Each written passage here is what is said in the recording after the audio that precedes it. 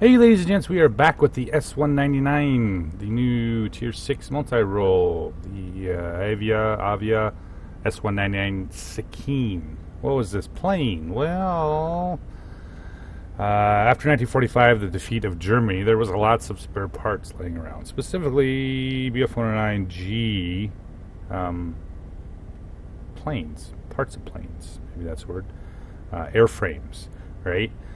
So uh, the Czechoslovakian company gathered up these parts and started producing um, a Bf-109, a version of the Bf-109 um, in 1947. I think the maiden flight was in March 1947.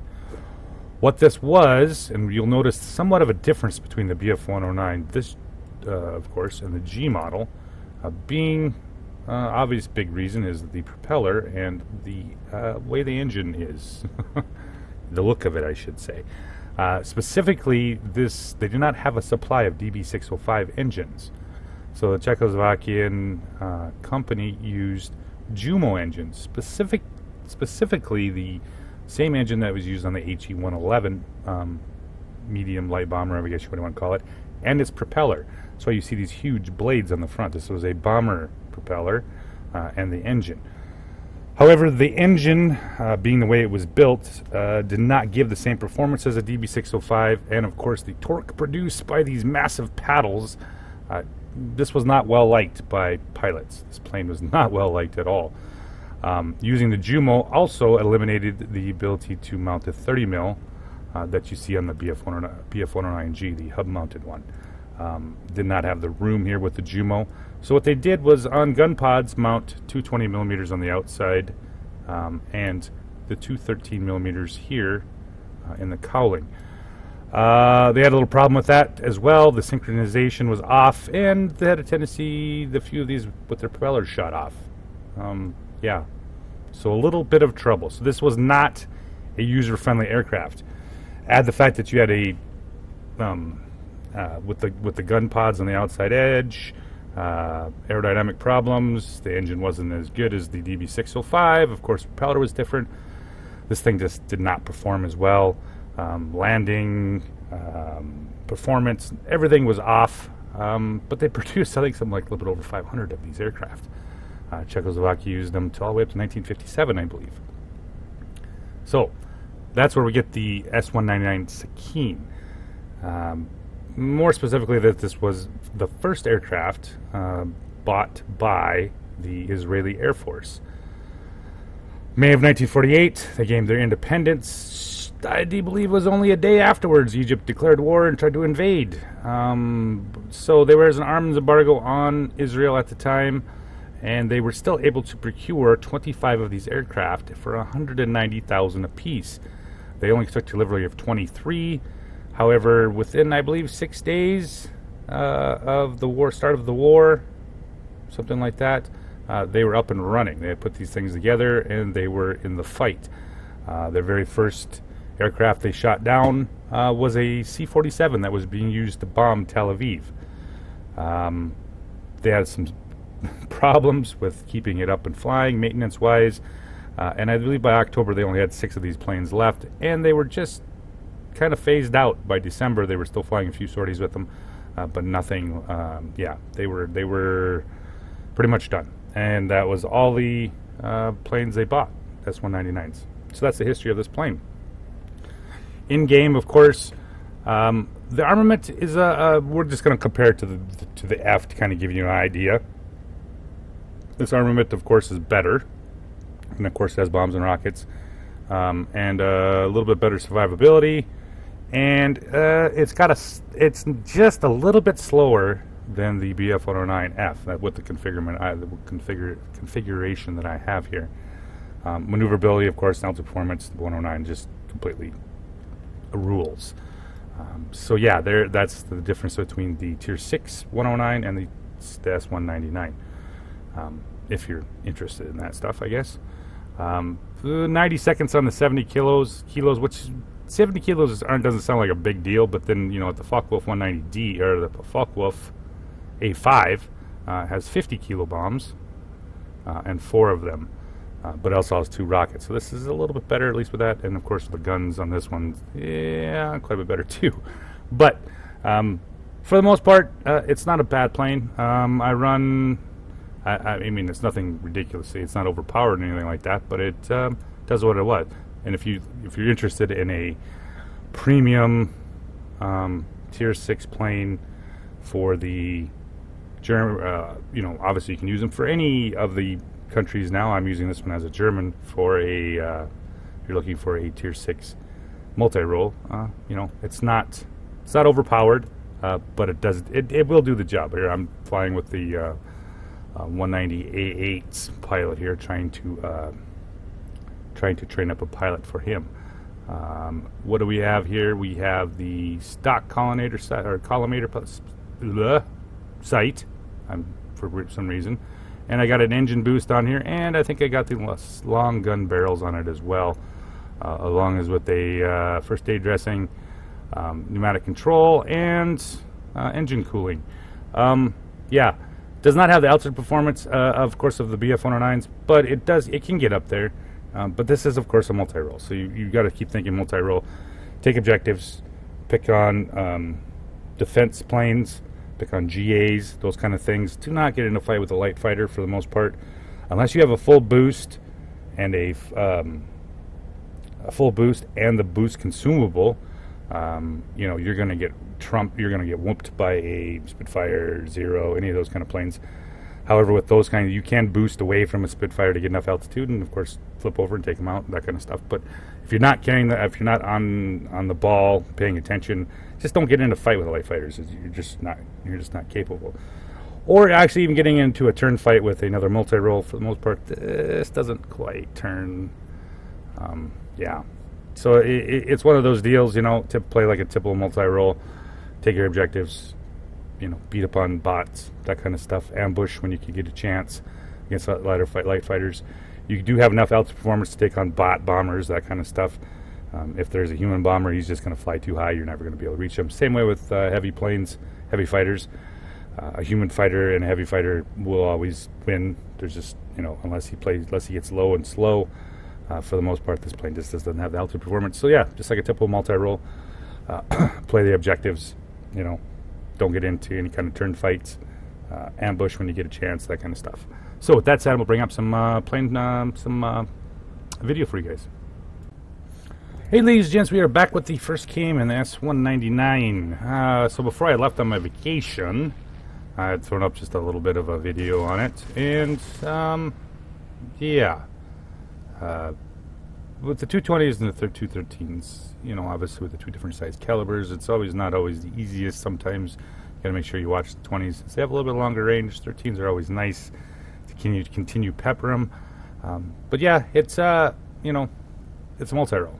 So I'm running over here to the first objective here, and we're going to wait a little bit here until uh, we get some more planes in there. Uh, we picked up the uh, Beaufighter here. Uh, we're going to start boosting him for him right off the bat. Once again, it's not a BF-109 type um, BF-109 type altitude performance. However, it does get up high enough to deal with these heavy fighters. So round we come, looking for our next victim target, maybe possibly, uh, which is of course looks to be a boomerang. See if we can finish him off here, pick him up.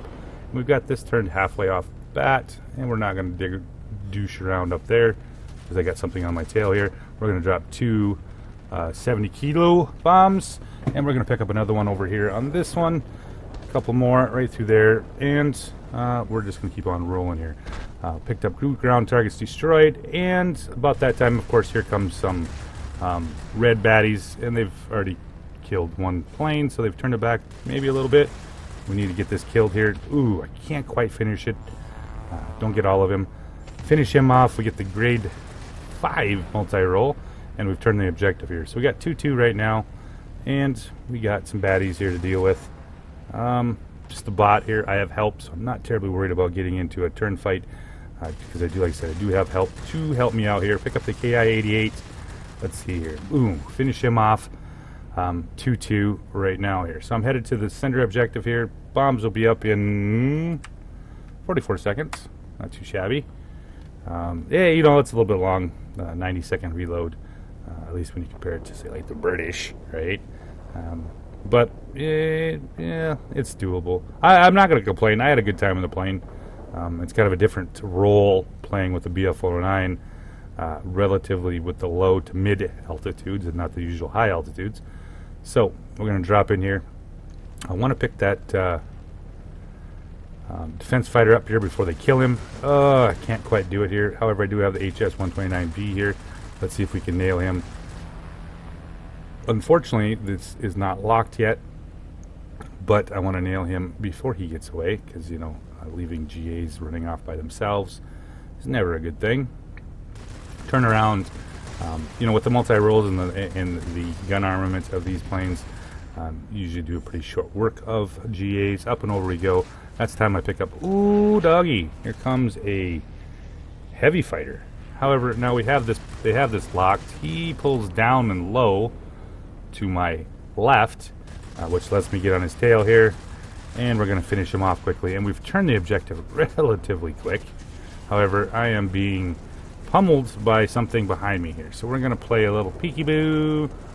Um, I have no engine. Of course, I have no engine. And he's just going to follow me around here. So I got... Uh, what are you up to, buddy, here? He's, he's going up and around, up and over, up and over, and up and over. And I'm just trying, because like I said, I don't have the uh, ability to turn with any of these light fighters. So we're going to turn back on him. He's went off the opposite direction, and it's a Yak 9. And Fido, Fida, whatever, Fido, we'll call him Fido for now. We'll remember that guy, because he's apparently had a hard-on for me most of the game. So, picked up the second objective here. We're going to roll uh, to the third one which uh, what you see me here doing here is I'm counting planes, right? There's three blues over here. There's only one blue down there. There's a pretty good chance if I do get over there eventually, um, that blue's going to be dead, and then it's going to be me versus everybody. So I'm going to try to pick my numbers here, which of course is the uh, in this situation there's more blue planes over here. So I'm going to try to boost up here and see if I can pick up uh, some of these uh, high flyers here. He is way up beyond what I can get to for right now here. So, however, here's my um, heavy fighters. And they are currently after that bomber, which I would really like to hold on to. So, let's pick up the Beaufighter going through. There he is. Let's keep him off my bomber here. I don't want to lose my bomber because that just makes it harder. Never mind. Fuck PE2. What are you doing? There we go. Pick up the heavy fighter. We've turned it back here. We've got another uh, heavy fighter, Beaufighters coming, and I'm getting fucking railed by something from behind. There he is! The Yak 9 had shot down earlier. Yeah, apparently he was still mad at me. So, as I fall out of the sky, burning in a pile of, you know, whatever, uh, not able to take that objective, I guess. Maybe that's a better word for it here. We got Michael Brian Stokes in F4F. He finishes off Elwyn. And we're going to come back in here. We got three red baddies. Let's see if we can knock some of this stuff out here because I really don't want to lose this objective in too soon here.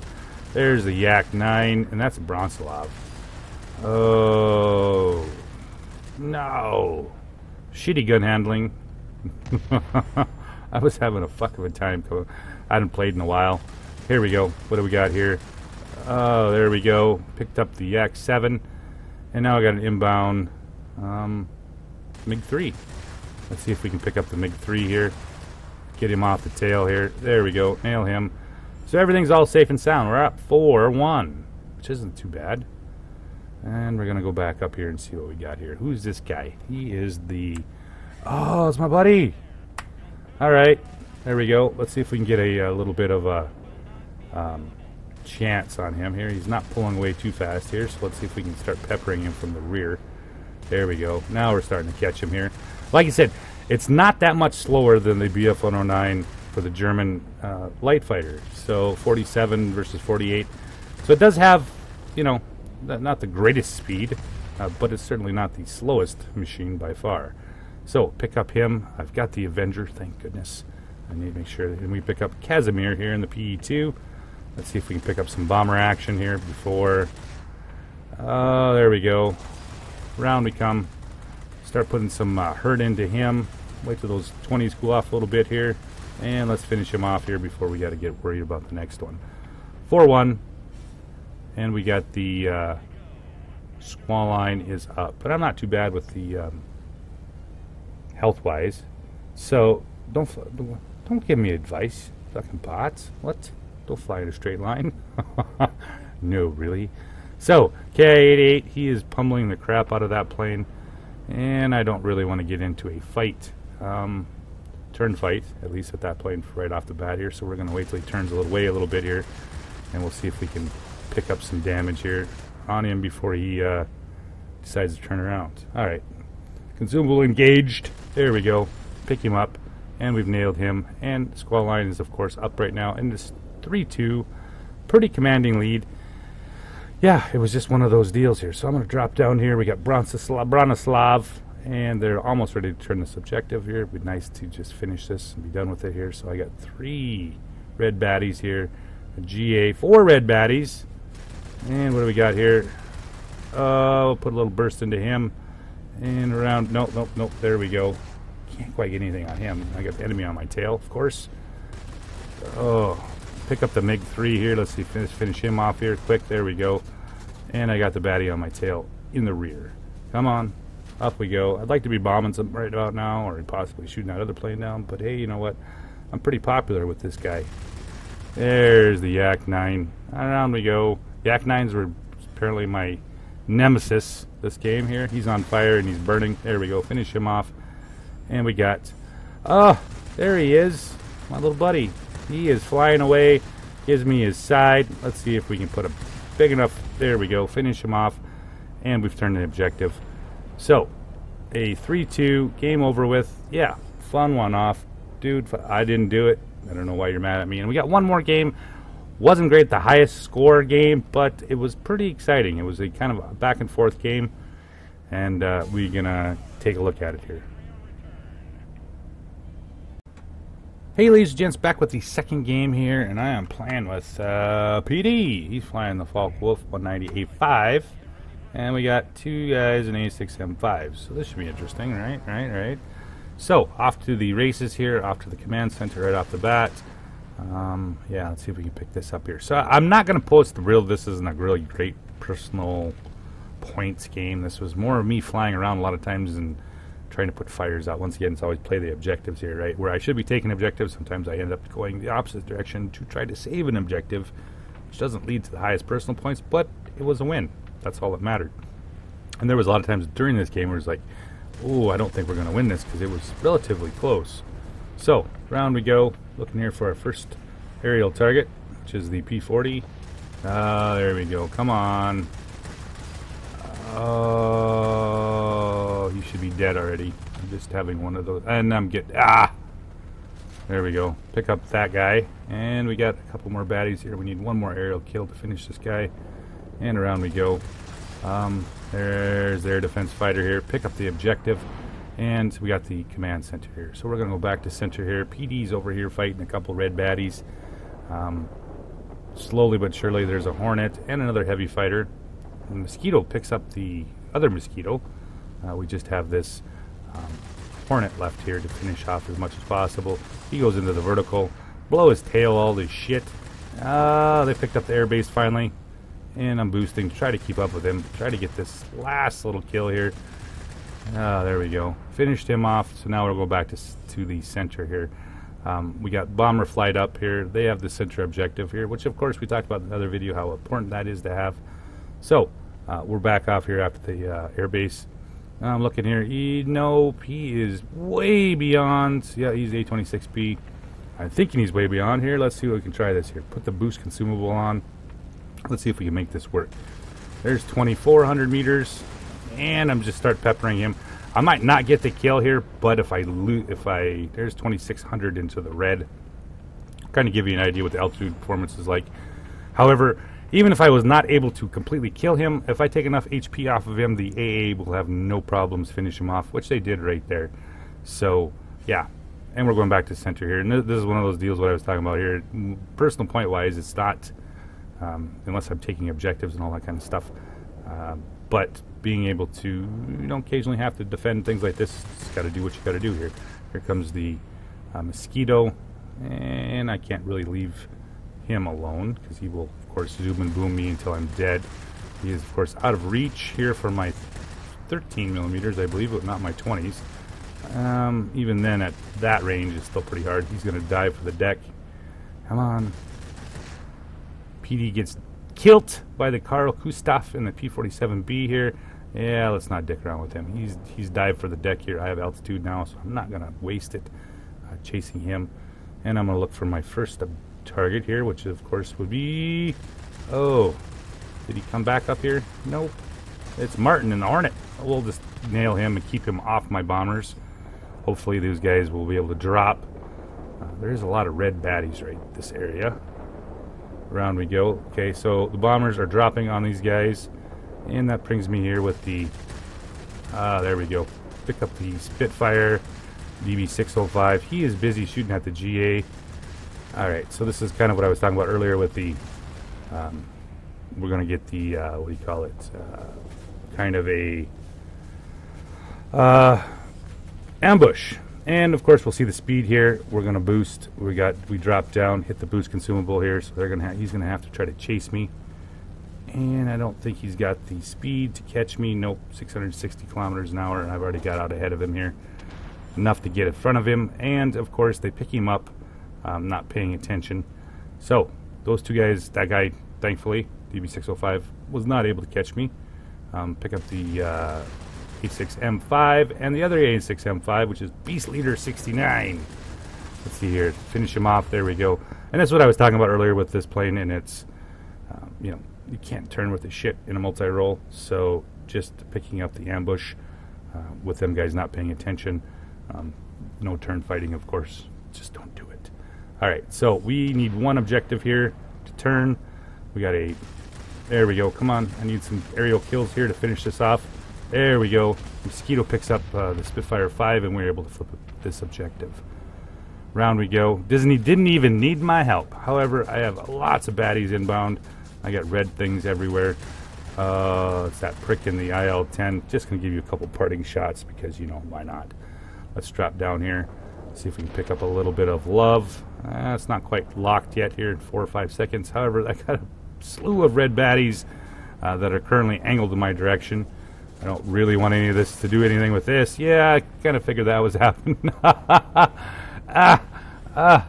The, you saw him coming, and I'm just like, yeah, there's, there's no way I'm going to get out of this deal. So, we die, and it is a 3, there's a 3-2. However, they have the mining facility. And they are up on us by a pretty significant chunk.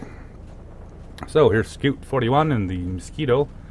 He is looking for a target here, and we're back. We come in here. We're going to try to get to the center objective here, back to the fight. And for some reason, I did not pick that center objective. I don't know what was up. Um, yeah. So I'm not going to worry about the center objective. It's still blue. There's a lot of blue players there here. However, I don't want to lose this objective. Um, we have uh, two planes, two red planes here, one blue plane. There's an IL-10. Ooh, air defense fighter picks up the Horton. A Hornet. Damn. We've lost the air base. Now it's a 3-2. I cannot afford to lose another. And if this IL-10 makes a pretty good pass, there's a possibility he's going to be able to kill um, something here. So I put a big burst into him. There we go. Finish him off, and we turn the airbase back, or turn the command center back just a little bit. So, still in the game. 2-3. We're almost ready to lose the garrison. It is kind of a tight fight here. Bombers are up, headed for that garrison over there, which is just about ready to get turned. There's three blues there. However, they have a commanding 423 658. All right, so we got to get we got to get our shit together, right, guys? So squall line is up. I'm full health, and we got two red heavy fighters, and we got the A26 flying straight up here. Not sure what he's up to. Um, but yeah, so now we flip the other objective objective here. We're back three two, and really nice to be picked up this center objective here the the mining facility is looking like it's hurting pretty hard. However, we do need, kind of need this as well. We've picked up the mining facility. There we go. There was the key uh, in this, kind of in this fight was uh, somebody picking that up here. So we're dropping down here.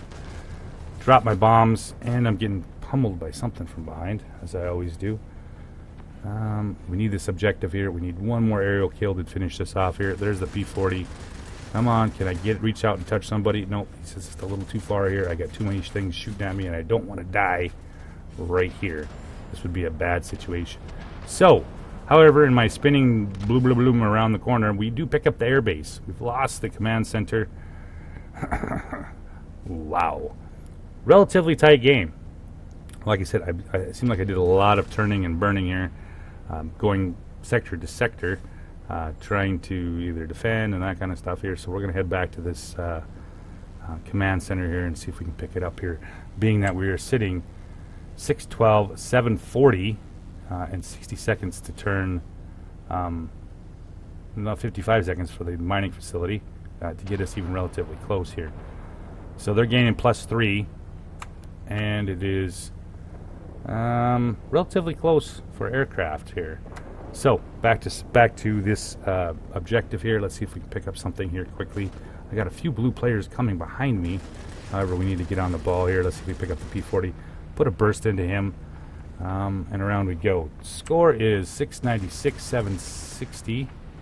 There we go. Now we're up over 700. This is going to be super tight here. Let's see if we can finish that P40 off quick. That's about the time PD shows up as well. Oh, there we go. Picked him up. 730, 769.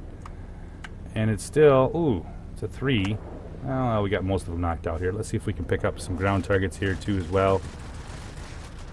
And up and over we go. Um, couple more aerial targets to deal with here, and we pull out the bullshit win. Um, so yeah, so thank you for watching, guys, and have a good night.